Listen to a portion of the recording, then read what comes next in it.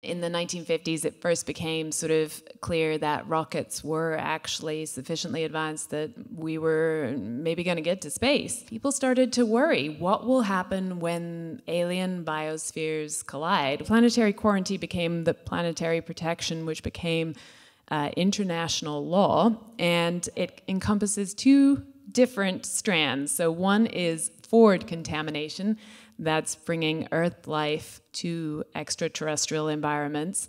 A couple of reasons for this. One, uh, Earth life might wipe out alien life, and also it might just make it really hard to know if we found alien life for bringing life with us.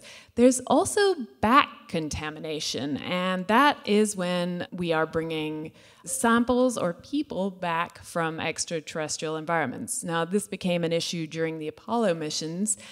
And so it involved the CDC sort of officially said, hey, you're not bringing the astronauts back unless they go into quarantine. And NASA said, oh, well, we didn't think there was life on the moon, so we weren't planning that and had to scramble.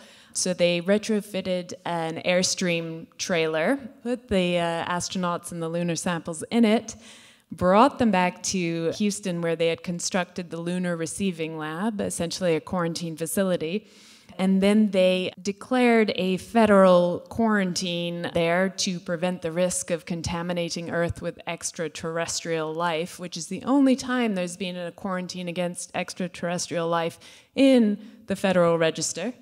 And then, you know, eventually realized there was no need for that. There was no life on the moon.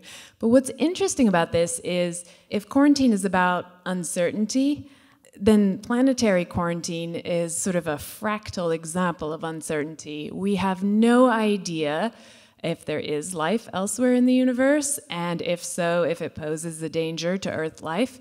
We have no idea if Earth life would pose a danger to it, or even if Earth life would be capable of replicating in extraterrestrial environments.